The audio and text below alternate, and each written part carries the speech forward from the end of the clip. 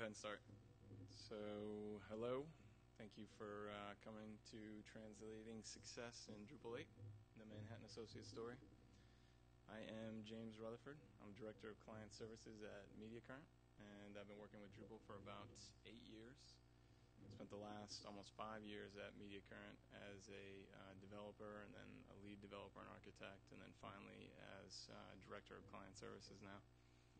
So uh, my role at MediaCurrent at this point is to uh, engage with our clients, really understand what their business needs are, and make sure that uh, the projects that we're working with them are delivered on time and uh, on budget. You guys can follow me at James Rutherford on Twitter, and I tweet a lot about Drupal and about uh, client services issues, and I also tweet a lot about Boston sports. Um, so hopefully you're interested in that. So a little bit about Media Current. Uh, MediaCurrent is a full-service uh, digital agency that specializes in Drupal. We're based in Atlanta and um, have about 50 uh, plus employees, uh, ranging from a full development team to full design and theming team, as well as a digital strategy team. So uh, MediaCurrent is going to strive to work with our clients and be that uh, full service partner that allows them to excel in any area of a project, whether it's planning and understanding how to execute a successful business strategy to actually doing the back end development and making sure that um, you're building uh, Drupal correctly. They're also a lot of fun to work for, and we have a booth down in uh, 219 if you guys want to come by and see us. We have the um, bags tossing thing. So uh, let's talk about our agenda. Um, as the title alludes to, this is the story of Manhattan Associates and uh, Drupal and, and them uh, implementing Drupal 8, which is a project that we're in the middle of with them right now and that should be launching uh, at the end of this week on Friday. So uh, we're going to talk a little bit about the backstory of how Manhattan Associates chose Drupal, um, how they how they went from uh, uh, working with Drupal previously to deciding to move to a Drupal 8 site for their current platform, and then what were the lessons learned and the challenges of actually implementing Drupal 8 at this point in the uh, beta lifecycle. And then we're also going to take a deep dive into the translation component of Drupal 8. That's really one of the killer features in core, um, and it's one of the main reasons why uh, Manhattan Associates decided to move to Drupal 8, which we'll get into in a little bit. When we go to the translation component, I'm going to be handing off to Calvin from Lingotek. Uh, they are a partner of MediaCurrents and, and really the experts in translation in, in uh, the Drupal space. So, and then at the end we should have time for a QA. So uh, let's go back in time to 2011. Um, Manhattan Associates had just launched a brand new Drupal 6 site, uh, fully translated in six languages. Uh, featured multi-domain publishing capability, so they could have content that was translated in several languages and publish it out to like a sub-site or a brochure site. Really a great marketing tool for their team. And um, we also featured CRM integration on all of their assets so that they could do custom Eloqua campaigns for different assets and publish those in different languages. So, um, really, really powerful Drupal 6 site built uh, sort of right at the end of the life cycle of Drupal 6. Uh, Drupal 7 had really just launched uh, a few months before we launched this site. Um, we had a great project, great successful launch with them, and so Manhattan Associates and Media Current really enter into a long-term partnership at this point. We moved into a support phase with them and did a couple of small projects, and then um, you know once they were ready for their internal team to support uh, Drupal, we uh, parted as friends. So and that's the history. Now let's move forward to 2014.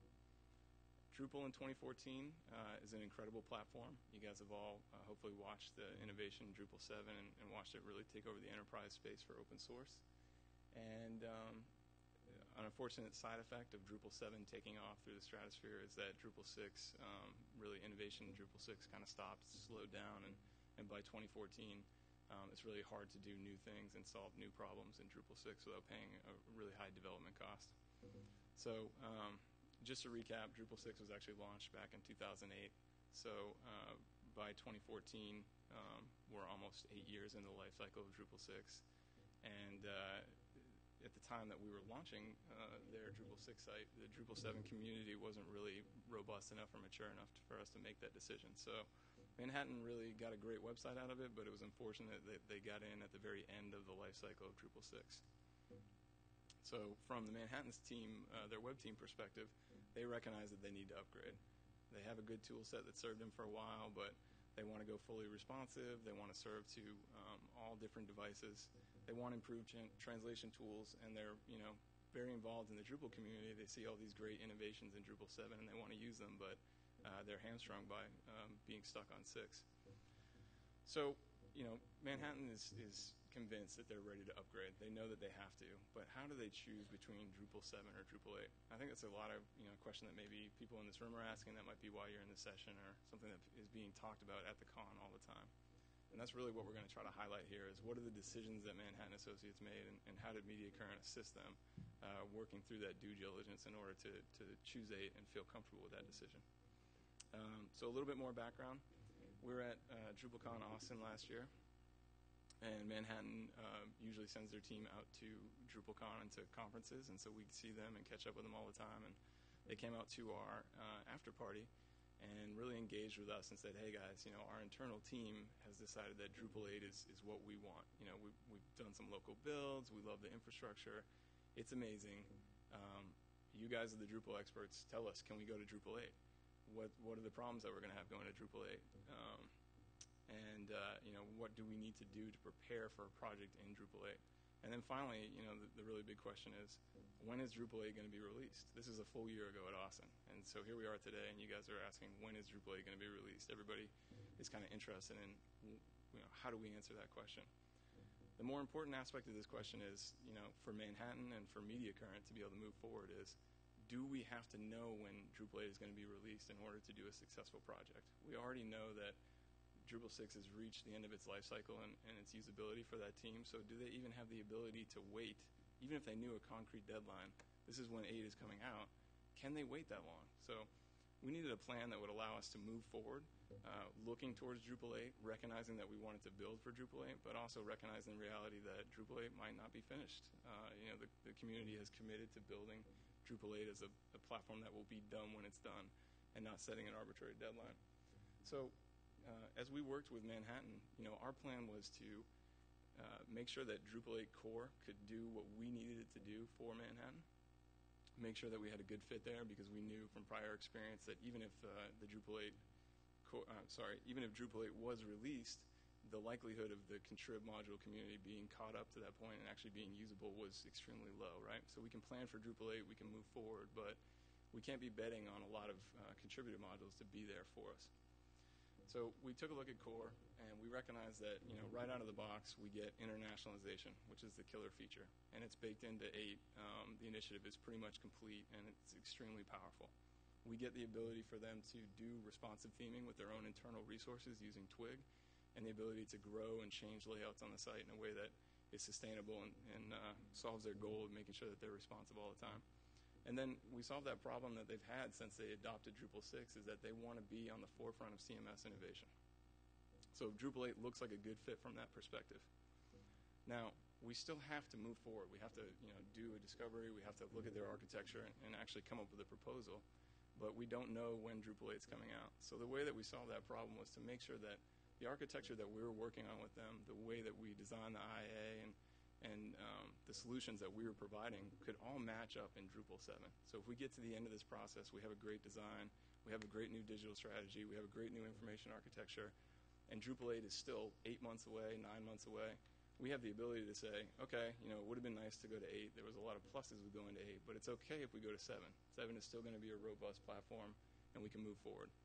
And they felt comfortable with that plan, um, as comfortable as we did. So we went ahead and, and uh, started a design and discovery project uh, back in May 2014. It was about two to three months, and um, you know we worked really closely with Manhattan to figure out what their Drupal 8 website is going to look like and build an architecture that could actually launch, assuming that um, 8 was ready at the time of the, the time that we finished discovery. It was key for us to make sure that we uh, restrained ourselves with scope. I mean, anytime you get a new toy, the idea is to solve every single problem that you've ever wanted to solve and we can do this now, we can do that, and you know we really work together with their stakeholders to say, let's rein that in. Let's make sure that we're solving your core business needs so that we don't add a lot of unnecessary risk to eight, and we actually have a timeline that's achievable. Um, and then finally, you know, as part of the discovery process, we were able to really dive in and understand, you know, what is the level of effort to get Drupal 8 uh, ready for Manhattan? Which contrib modules are the ones that are out there do we actually need, and how much work will it take for us to get them fully ready and, and working with this system? And uh, can we do a real estimate that will put a real price on, on this and understand the risk uh, based on our timeline and, and on the estimate? During this process, um, which stretched into November of 2014, uh, we got some great news. Drupal 8 Beta was announced in October. This is something that our team was looking forward to happening. Uh, with Drupal 8 Beta being announced, uh, we, we knew what the core feature set was going to be, uh, at least from a standpoint that APIs had pretty much gelled. There really wasn't going to be too many more core structural changes. And we really had a good idea of what Drupal 8 would look like at launch as far as what we imagined or hoped it would look like and what um, we were actually going to be launching with. And so, from our point of view, um, the site that we needed to launch for uh, Manhattan Associates, we needed views, we needed internationalization, and we needed CMI to be rock solid. And um, at the time that beta was announced, those systems were far enough along for us to feel comfortable with uh, moving forward with a proposal. So, uh, just to recap, we've spent the last year planning and, and, and trying to find a way to make Drupal 8 work for Manhattan Associates trying to do it in a way that is um, actually, you know, not a pie in the sky endeavor, in a way that has low risk and and um, you know allows them to be early adopters without uh, concern that you know we launch and the, the website falls over. So uh, we complete planning and deliver a proposal to them in early January of, of, this year, which is right around the timeline that we had wanted. They had a uh, or they have a mid-May uh, launch. Unfortunately, uh, it wasn't good enough. So we had been working very closely with their web team and their marketing team and, and the people that we had these uh, long-term relationship with. And we gave them what we thought was a great proposal. But when they turned around and presented that to the leadership team, uh, the leadership team had major concerns. They, we had not done enough to let them understand, you know, why is it important to spend this much money to go to Drupal 8 right now? And how are you going to mitigate the risk? Manhattan Associates is an enterprise level software company, and the idea that their new CMS was going to be based on a beta release was something that, you know, a lot of the um, leadership team was, you know, rightfully so, sort of concerned about. So we had to work um, immediately in order to alleviate this roadblock and, and uh, you know, sort of help justify our decision, and then also do so in a way that allowed us to actually make the, the proposal's uh, projected uh, launch date, right? We couldn't sit there forever and, and try to figure out how to, how to mitigate this issue. So the first thing we did was do a cost comparison with Drupal 7. we went through that whole exercise that we had talked about previously and gave them an estimate based on, hey, if you guys do seven right now, this is what you're going to see, and give them the ability to understand what the cost difference is between seven and eight at this point. Um, that took a little bit of work on both sides, obviously, to understand what the seven aspect of it was, and then you know we still wanted to uh, uh, reduce the budget further for Drupal 8 in order to say, if budget is really an issue right now, if you're not willing to spend this much to get to eight, what can we do to make that happen? So we uh, worked with Manhattan, cut some scope, and then we also uh, reorganized our project around an MVP that, that uh, reduced risk. So the MVP really was what exactly do we need from core Drupal 8, and what's the minimum amount of contrib modules that we can use to get there. Uh, with the buy-in from Manhattan's team, we are able to reduce the budget to within what the leadership group felt was worthwhile on, on uh, spending on Drupal 8 and move forward. And then at the same time, we had to show, you know, what is the ROI of, of moving to Drupal 8 right now over staying on 7? One of the major factors that we talked about was, you know, do you want to pay for going through the move to Drupal 8 uh, three or four years from now? So we adopt 7 now, and um, 8 releases becomes stable and then becomes a center of innovation. If you're going to keep up with that innovation, do you want to switch CMSs again? And if that cost, um, which is hopefully reduced, right, because Drupal as a community is trying to learn from the pain of, of further migrations, but there's also the hidden cost of your organizational costs, right? If you in three years have to move from seven to eight, then that's the time that your CMS team and your leadership team is spending planning that instead of doing what they should be doing, which is executing on their digital strategy. So um, by demonstrating uh, a cost savings there and going early and um, you know, continuing to educate them on the Drupal model of how the contrib community works and, and where innovation happens in contrib, we were able to demonstrate the ROI to their leadership. And then uh, I think the hardest task that we had to do was demonstrate that we had an expert level understanding of risk, right? That's the big unknown with Drupal 8. There is so much unknowns. Even in beta right now, we could see um, architectural changes that will cause your data to change or key features that you expected to be able to work with to work differently. So how do we understand that risk and, and provide a clear roadmap that they can feel comfortable moving forward with? Well, the very first thing we did was, um, you know, do a real analysis of where Drupal 8 was. We dove into the issue queue and looked at, um, you know, how many critical issues do we have right now for this beta, and what's the velocity of critical issue over time, right? If we look back in December of, of last year, there was 110 critical issues in the issue queue. We move forward to the time we're having this conversation in January, we're down to 72 critical issues. So, um, you know, moving forward two weeks later, we expect that to continue. We talked about how with the APIs gelling that, um, you know, uh, uh, development momentum would continue on Drupal as well.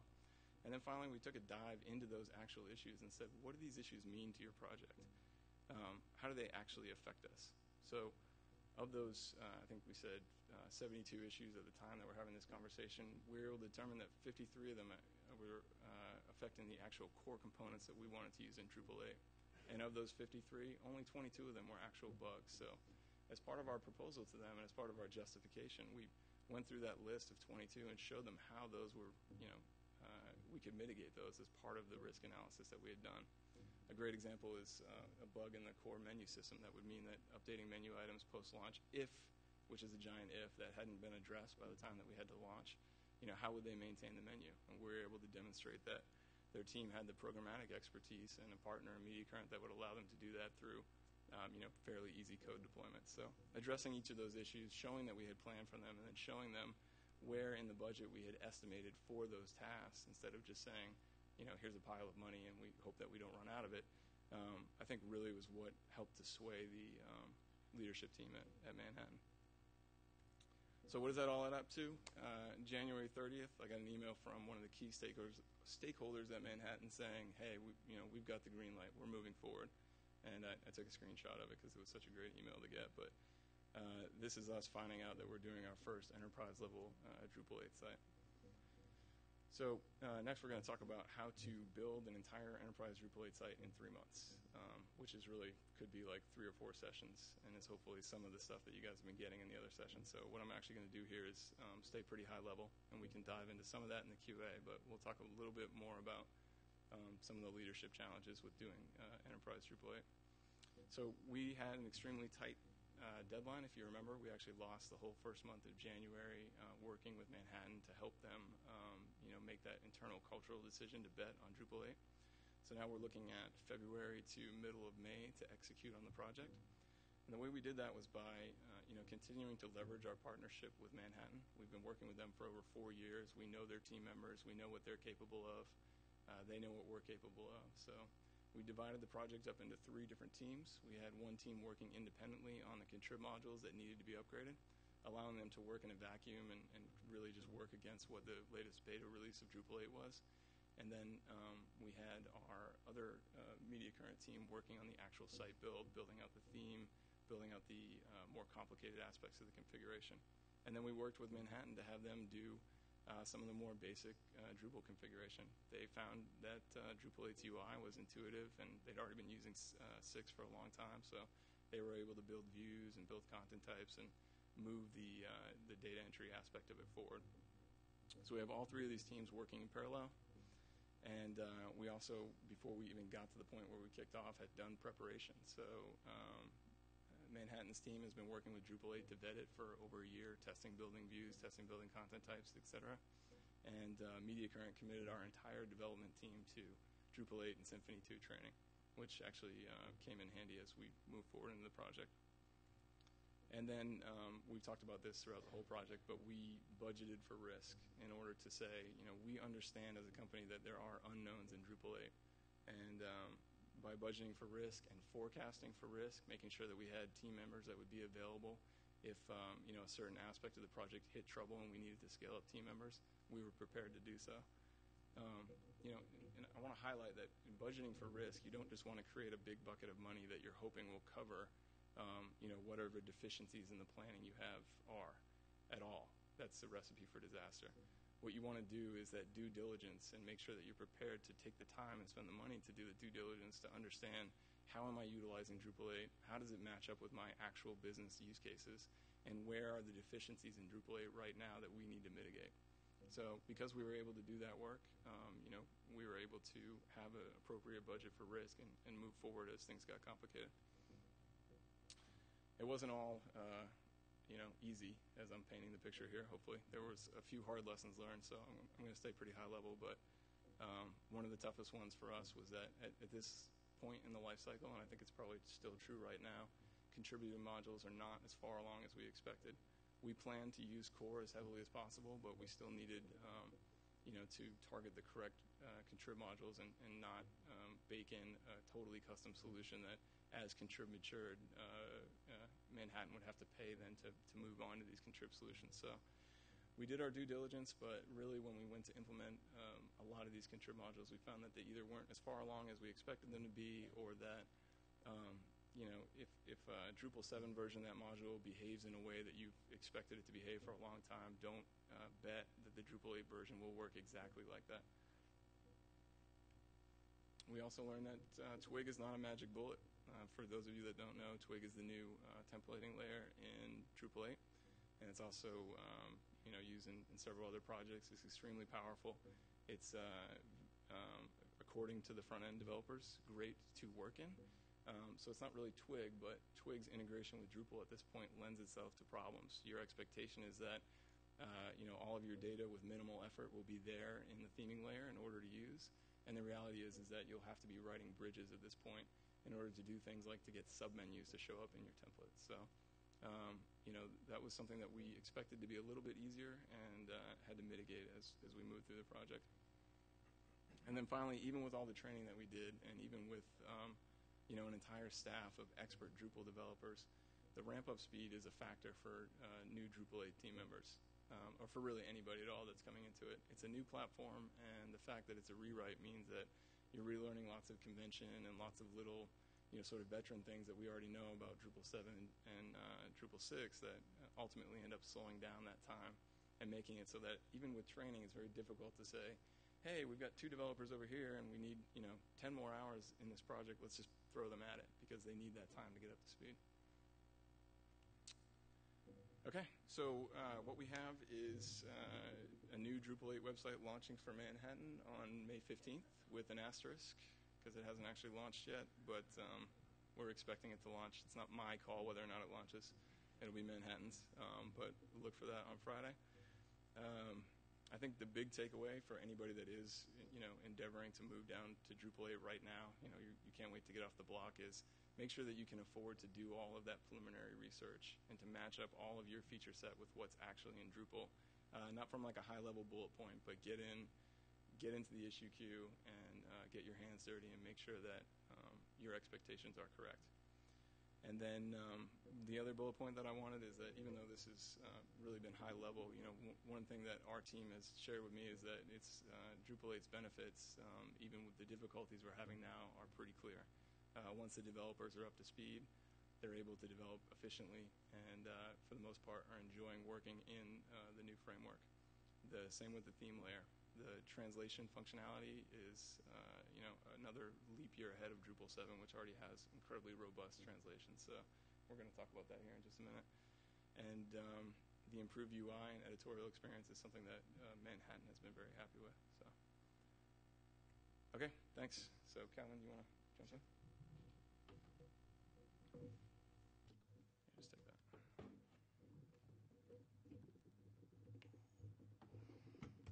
How's everybody doing today? Good. How many people here have uh, translation needs or they do translation on their websites? Everybody. Oh, good. And everybody's in seven or six, six, seven, seven. And you guys are looking to move towards eight at some some point. Great. Well, we're excited. Let me just give you kind of a high level. Um, I'm from uh, Lingotek. Oh, hold on. Where'd it go? maybe. There we go. Uh, Lingotek, we call ourselves a translation network.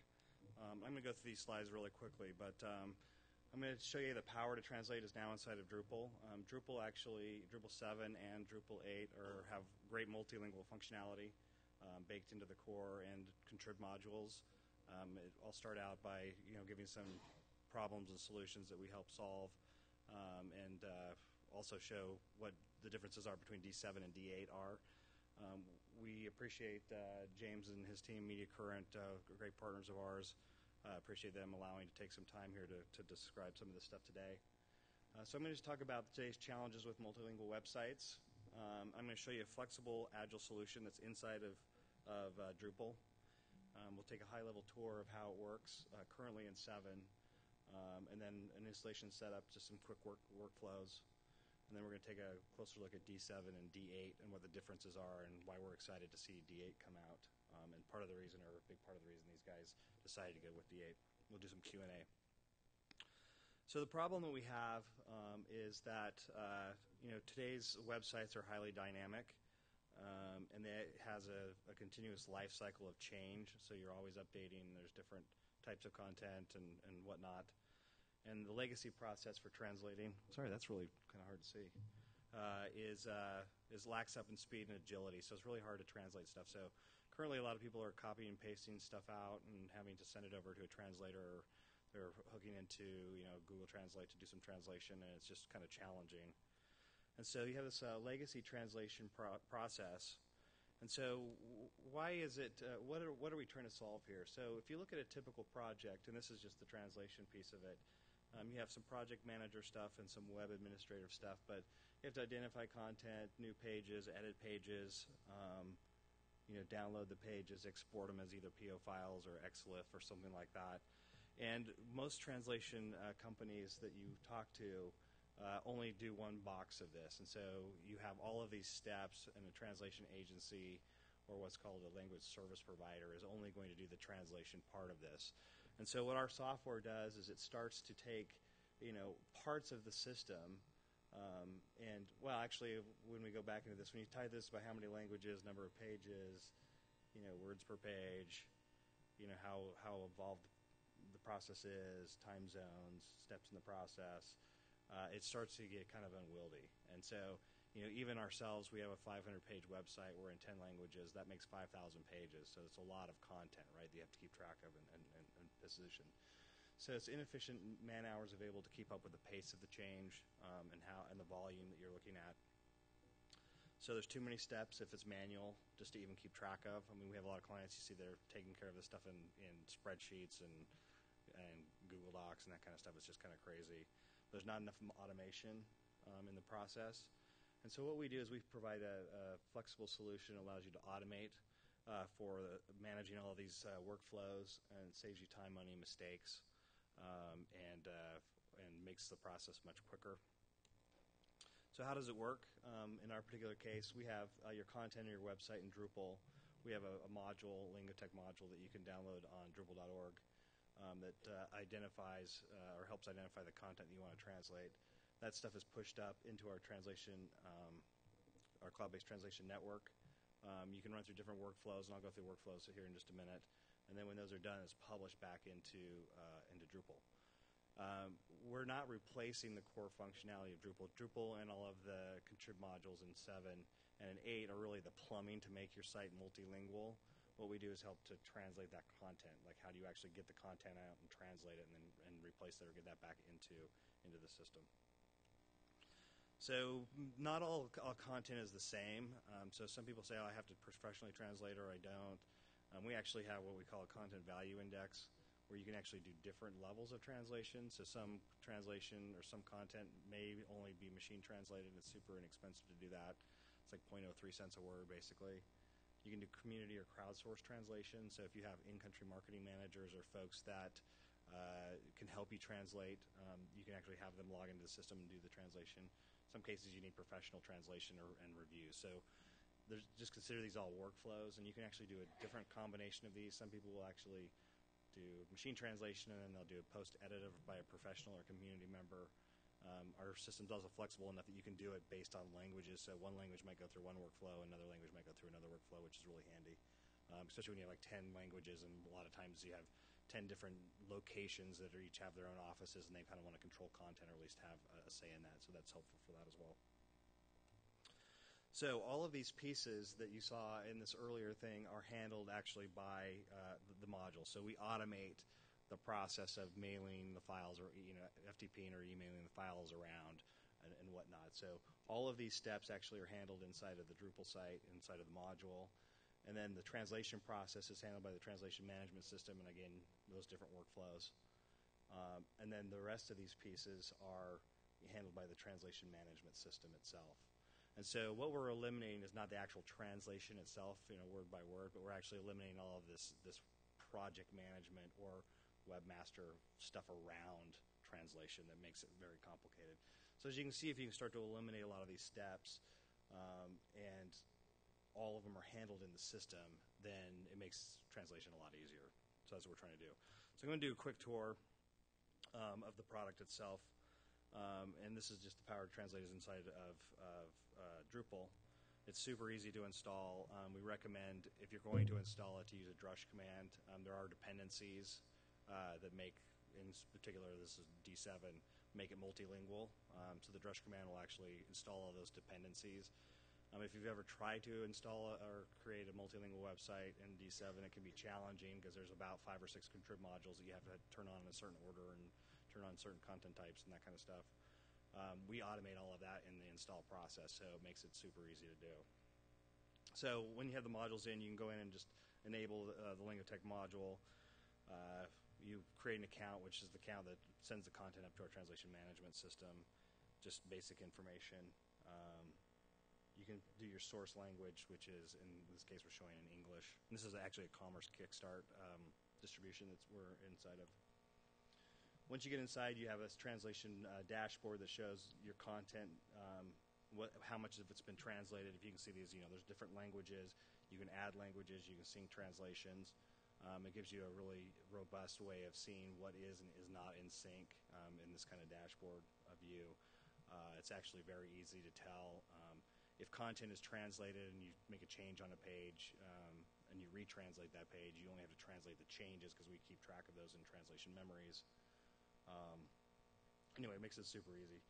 Sync the translations. Um, in this case, we're going to um, just translate the entire website into machine translation. This is an example on this. This is really handy just to get an idea of what a uh, your site looks like in a different language. Um, like I said, we don't necessarily recommend doing all machine translation, but uh, you can do the machine translation, and it certainly can show you if your menus get translated and, and all of that, um, and, and, where you need to to, to work on uh, different pieces of the product.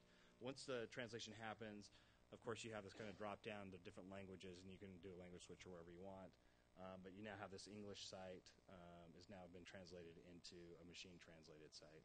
So it's really that simple. You can, you know, a five, ten page site or 50 page site can be machine translate translated in like five or ten minutes. Um, it's it's actually pretty fun to watch because it seems like it's almost like magic because the whole thing just translates menus and everything. Um, they've done a great job.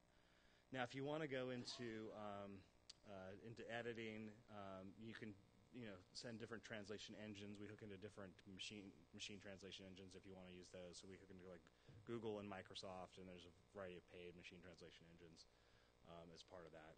Now you have all these settings. I'm showing you this, you know, really quickly, but there's, you know, all these settings where you can synchronize stuff. You can include source text, automatically send stuff up for translation. You can do it manually or automatic. Um, you can pick different uh, uh, different engines. You can decide to translate your URLs if you're using um, uh, uh, Switcher on that.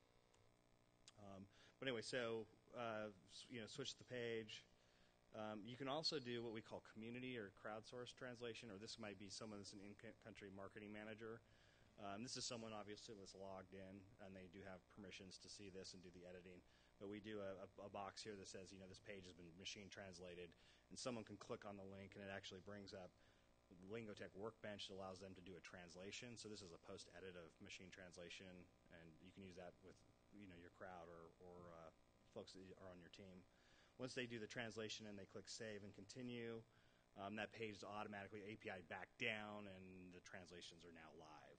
Now, all translations are stored inside of Drupal, um, and we do that for indexing and for search purposes, and you, obviously for SEO and that, you want to make sure that those are there. So, you know, the, the it's not like a, um, a proxy-based server where stuff is stored in the, on someone else's server and is not indexable. So think of uh, Drupal sites are you know highly dynamic. Pages come up with different content based on who's logged in, um, and and that's all served up from Drupal. And we don't replace that functionality at all.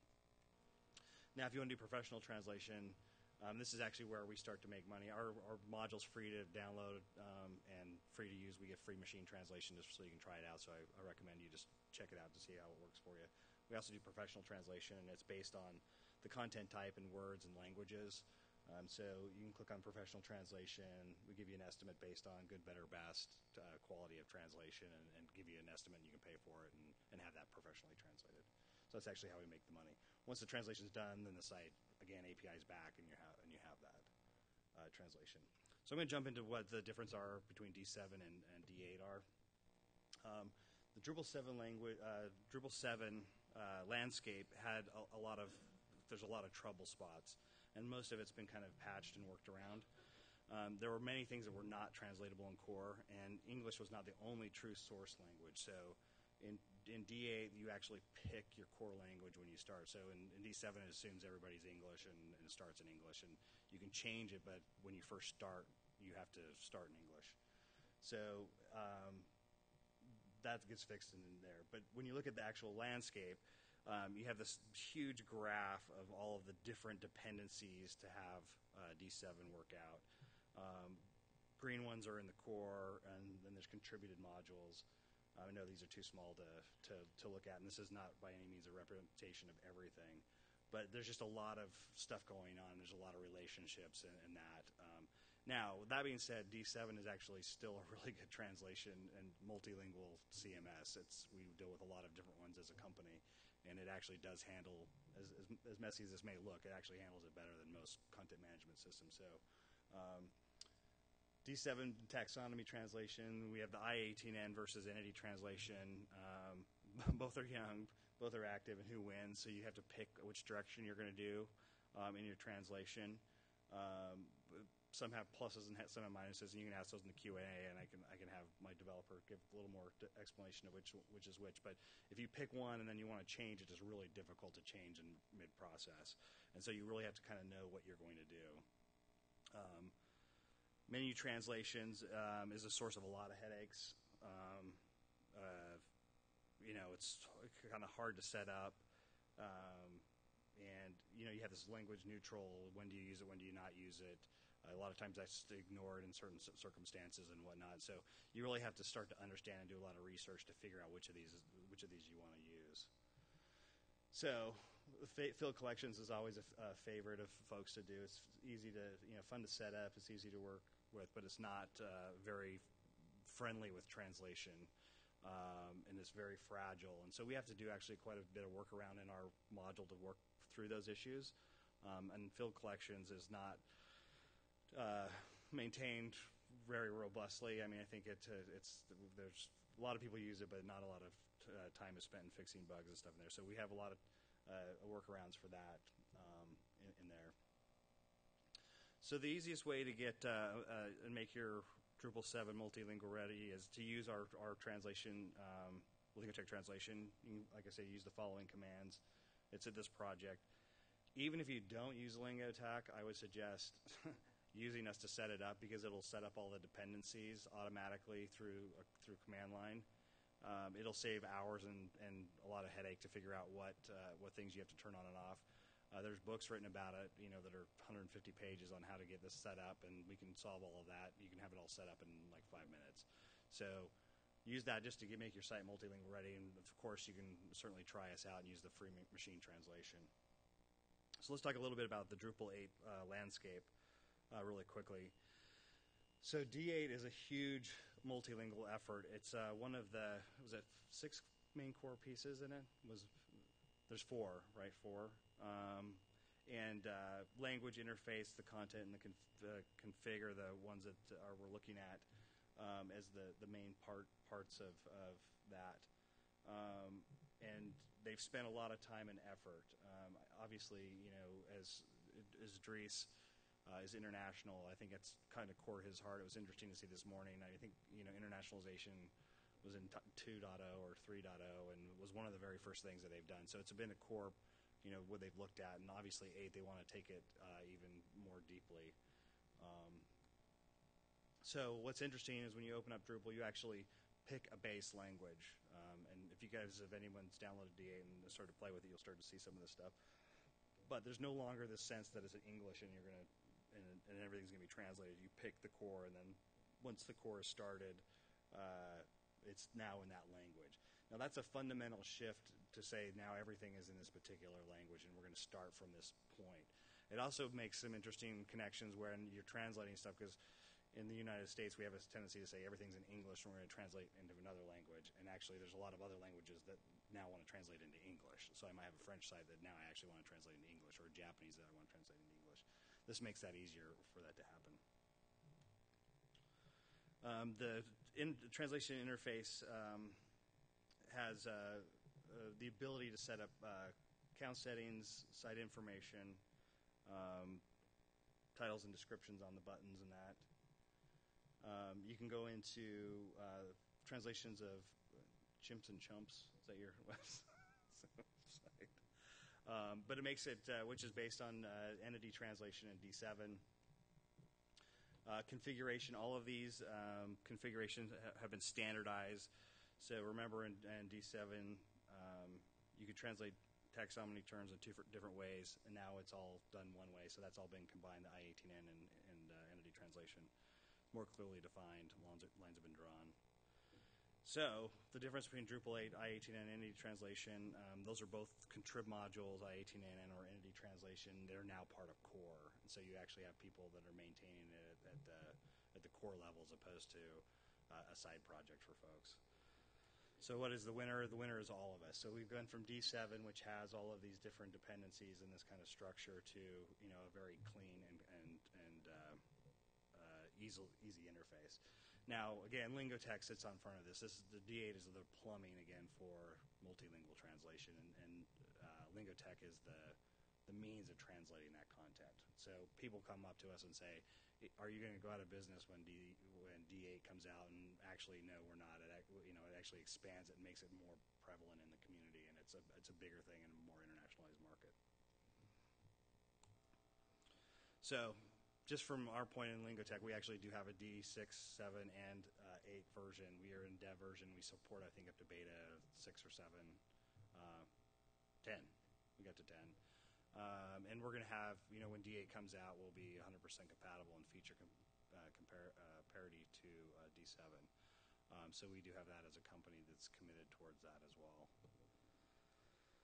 And here's my uh, here's my contact information. If you want to know more about Lingotek, lingotek.com slash Drupal, you can go to drupal.org um, project slash project slash uh, Drupal and uh, download six, seven, or eight on there. Um, but we're very encouraged by uh, the response we've had at this uh, conference and, and people coming by. I know both of our booths and um, and asking about uh, D8 and translation as well. So, got some time for some questions from either side here. One question. There's a microphone right there. If you guys can. Yeah, there's a microphone if you can go because they're recording all of this. If you have a question, you can go up and, and ask that.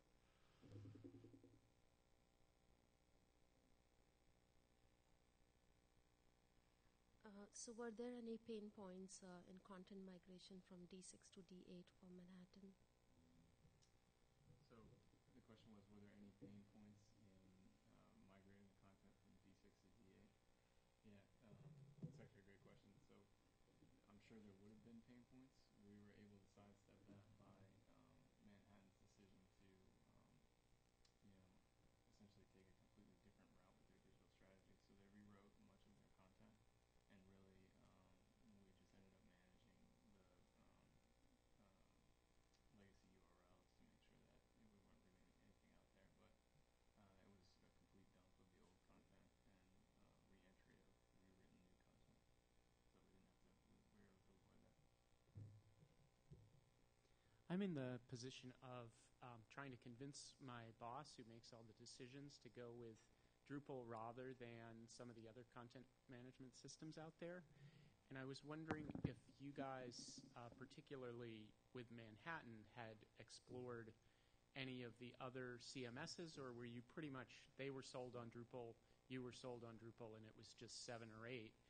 And if um, even if not, like, is there any takeaway that I can bring back and say, this is why we really need to go with Drupal um, rather than WordPress or something. Yeah, yeah. Um, so, fortunately for us, we didn't have to make an argument against another content management system, even though um, you know we had to do a lot of work to uh, justify our proposal to the leadership at at Manhattan, um, which makes sense. I mean, that's the same thing you're going through now. We had the buy-in from the core team that Drupal. And from the leadership team, that Drupal was the right way to go, regardless of whether or not it was seven or eight it was really just justifying that, um, you know, making the, the jump to eight early because of their deadline. They had to go to a new platform uh, was the right way to move. So it was fortunate for us that we didn't have to really deal with that question. But if I'm in your shoes, I mean, I think that the absolute killer is that uh, Drupal 8's core uh, integration, as opposed to it just being a module, is uh, is what differentiates it from the rest of the open source uh, community. By the fact that every single API and every single aspect of core takes um, the idea of translation as part of its fundamental step, uh, I think makes it you know an entire class above other open source CMSs. Yeah, certainly other open source CMSs have, um, you know, a little bit of the D7 problem where you have to have extra modules or plugins to make the plumbing work, so to speak. Um, in WordPress, for example, you, you, you know WordPress out of the out of the box is not multilingual ready, and so in that case, you have to decide whether you're going to do multi-site or you're going to get a third-party plugin to to do the plumbing piece on that. And then there's a whole security issue that comes along with, with WordPress. There's a lot more security holes and issues along that. If multilingual is the is the kind of the gating factor, um, we deal with lots and lots of different content management systems, and Drupal, even Drupal 7, handles it better than most, if not all, um, on the market right now. So we'd be happy to help you make that case with your with your boss if you wanted to. I, I think you either said this or implied that there was um, some sort of system that in which so if I, if I have a website and it's in five different languages and I've, everything's all translated and suddenly I decide I needed to I need to change the content on a given page, is there a subsequent like like an, uh, for for every other page or node with that content in a different language? Is there like a revision that's automatically created with the notation for what needs to be translated, subject to translation and then publication of that node. I'm just wondering how that, if, if there's like a, you know, say a waterfall effect where I've got my site in place.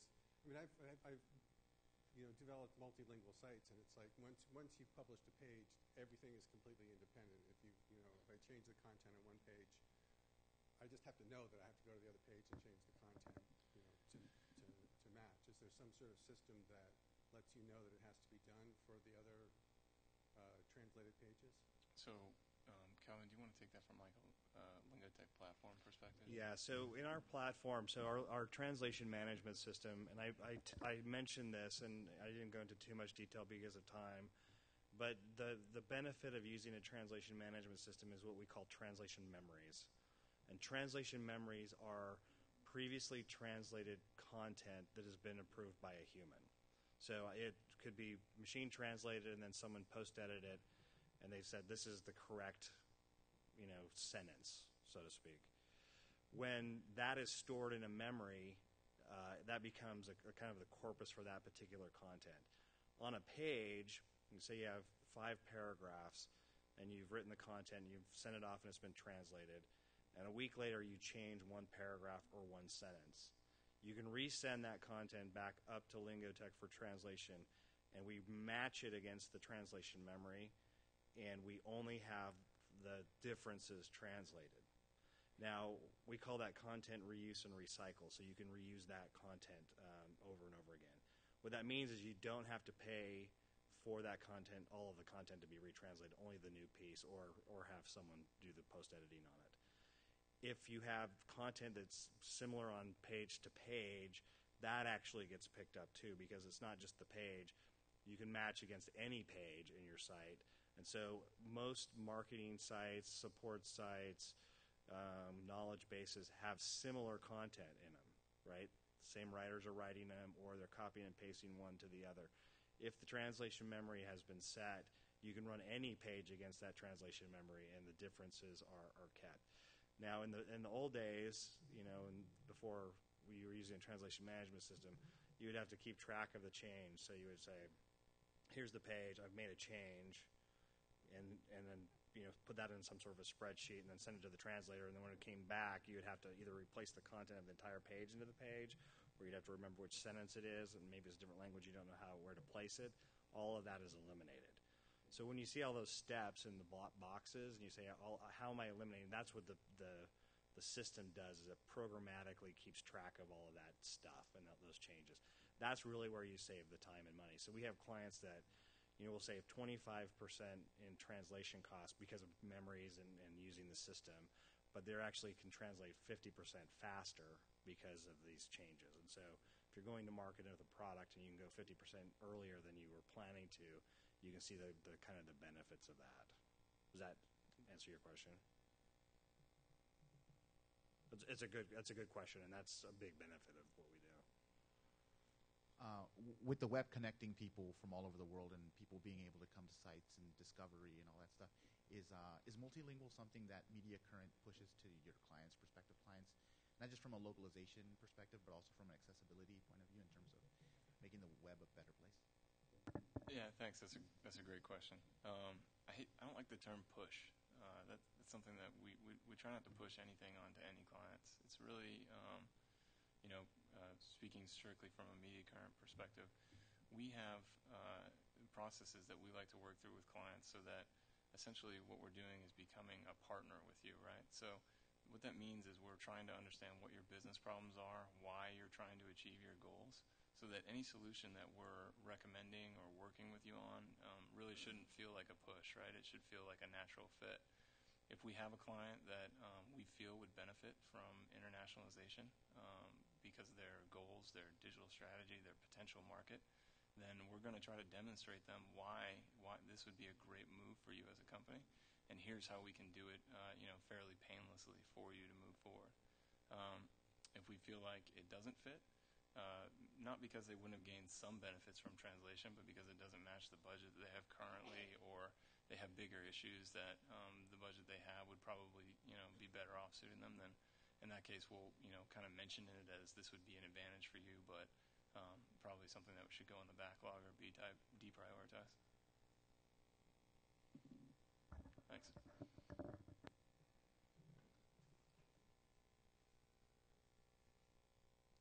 When you were doing your uh, due diligence and your risk management, were you uh, able to look outside the company if you needed the additional resources? If you hit a particular problem with Drupal 8, were you able to find resources that could help you?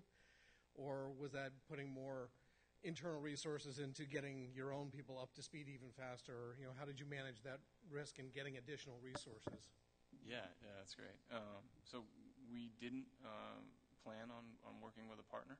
Um, certainly, that would have been something that uh, you know had the timeline called for that, and had our own in, internal forecasting made us realize, you know, we know that we need to have these personnel, and we know that um, you know we just we're not going to be able to have it if we get to that point where uh, risk becomes reality, and, and we need to ramp up. The people aren't going to be there. Then that's something that we probably would have considered, or at least you know discussed with Manhattan, but. Um, you know, from a forecasting perspective, we, we felt like we kept the resources that we need and that we prepared the resources that we need in order to be able to flex.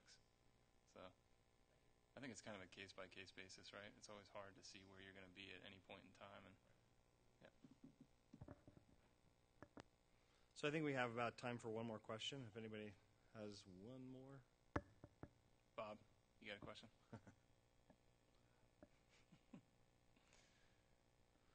All right. Well, if there are no more questions, um, I appreciate your guys' time today.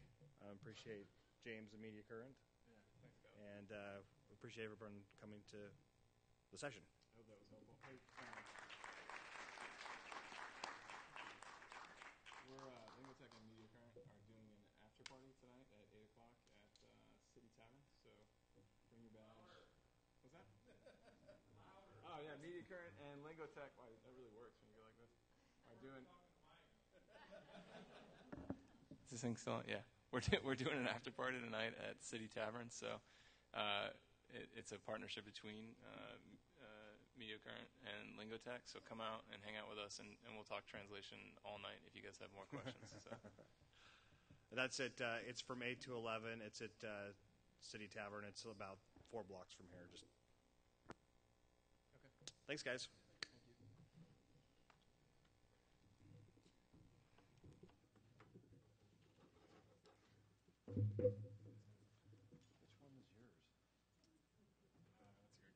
The one that you just pulled out, right? Because I think I didn't, didn't pull it out. Thanks. Thanks. Appreciate it. Okay.